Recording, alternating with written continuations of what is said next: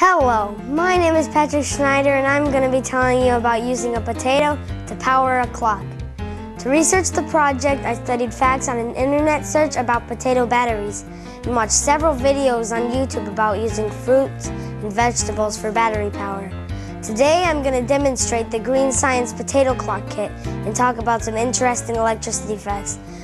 First, read all of the instructions carefully, especially the safety messages.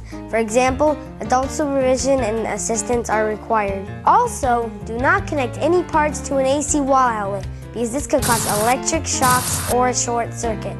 So let's begin. First, we start out with strips of copper and zinc, which were supplied with the kit. Also supplied were connecting wire, two pots, pieces of transparent tape, and a digital clock with wires. Now, I will connect one of each of the copper and zinc plates with a connection wire by threading it through the end hole, twisting the wire and covering it with tape. Then I will connect the other zinc and copper plates to the wires on the clock. The black wire is negative. It is connected to the zinc plate.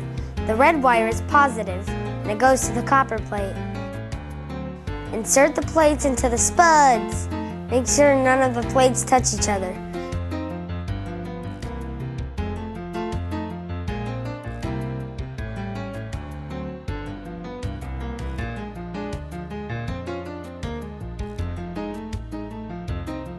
Your clock should now be operating.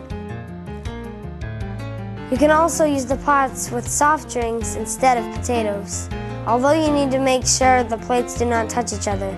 Here are some interesting facts. If you soak your potatoes overnight,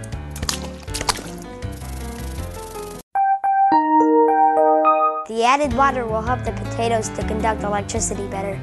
You can use other fruits and vegetables to produce electricity. The first battery ever made was a pile of metal discs by Alessandro Volta, an Italian scientist. This concludes my project. Thank you.